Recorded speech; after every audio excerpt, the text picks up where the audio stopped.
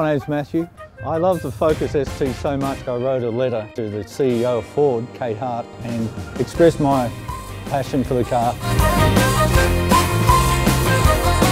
She was kind enough to write back and invite me along to Sydney Motorsport Park for the day to take my ST on the track and also try out a new Mustang.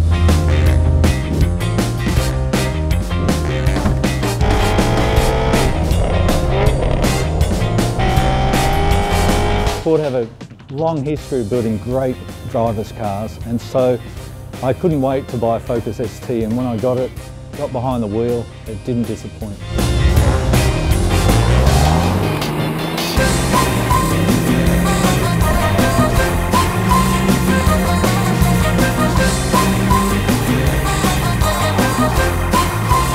That was amazing. It was great to be able to take these amazing drivers cars out on a racetrack.